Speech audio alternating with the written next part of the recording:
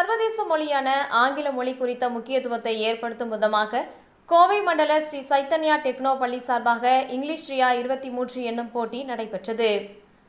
கோவை மண்டல ஸ்ரீ சைத்தன்யா டெக்னோ பள்ளிகள் சார்பாக மாணவ மாணவிகளின் திறன்கள் பல்வேறு நிகழ்ச்சிகள் மற்றும் போட்டிகள் தொடர்ந்து நடைபெற்று வருகின்றன.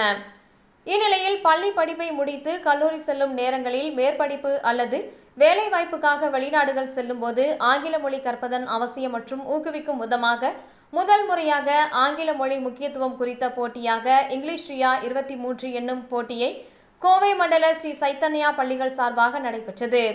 சினவேடப்பட்டி ஸ்ரீ சைத்தன்யா டெக்னோ பள்ளி வளாகத்தில் நடைபெற்ற இதில் சைத்தன்யா பள்ளியின் கிளைகளான சின்னவேடப்பட்டி நீலாம்பூர் காந்திபுரம் இடிக்கரை மற்றும் திருப்பூர் ஆகிய இடங்களில் இருந்து முன்னூற்றி அறுபத்தி நான்கு போட்டியாளர்கள் கலந்து கொண்டனர்.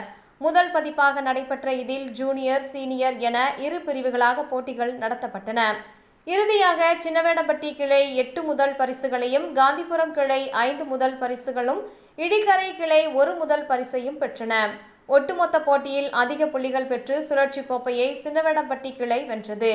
இதற்கான பரிசு வழங்கும் நிகழ்ச்சியில் சிறப்பு விருந்தினராக முன்னாள் ரோட்டரி கவர்னர் ஏவிபதி கலந்து கொண்டு வெற்றி பெற்றவர்களுக்கு கோப்பைகள் பதக்கங்கள் மற்றும் சான்றுகளை வழங்கி கௌரவித்தார்.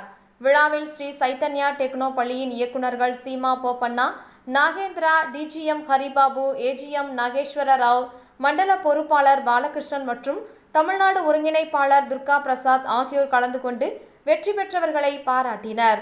நிகழ்ச்சியில் ஸ்ரீ சைத்தன்யா சின்னவேடப்பட்டி முதல்வர் doctor Gladys Diana Sivakumar Neelapur பள்ளி முதல்வர் ஸ்ரீமதி சுவாதி ரெட்டி இடிக்கரை பள்ளி முதல்வர் அனிதா திருப்பூர் பள்ளி முதல்வர் மகாலட்சுமி மற்றும் காந்திபுரம் பள்ளி முதல்வர் அனிஷ் அகஸ்டின் ஆகியோர் கலந்து கொண்டனர்.